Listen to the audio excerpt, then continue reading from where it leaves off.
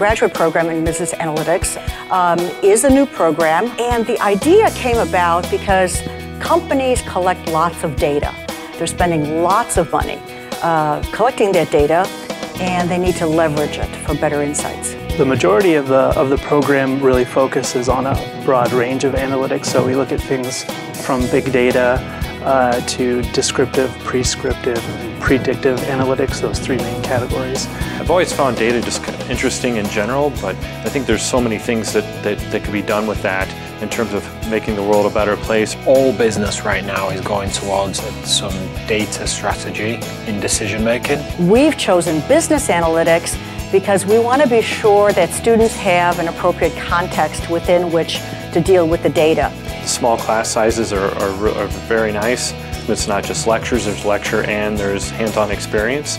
Our students are not simply looking at the statistical tools, but rather how the business questions may be answered using those tools. It's a very much uh, an applied uh, practitioner oriented program.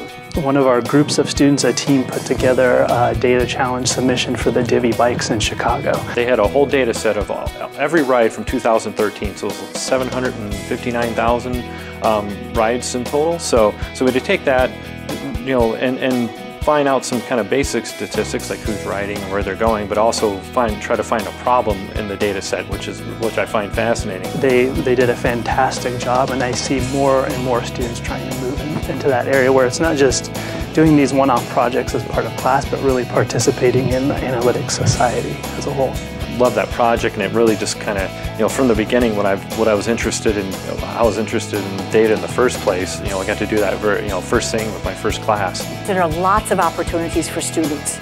Um, it is a widely sought after skill. I would say on a weekly basis I'm learning new skills that could effectively be placed on my resume um, on a weekly basis, not just upon graduation.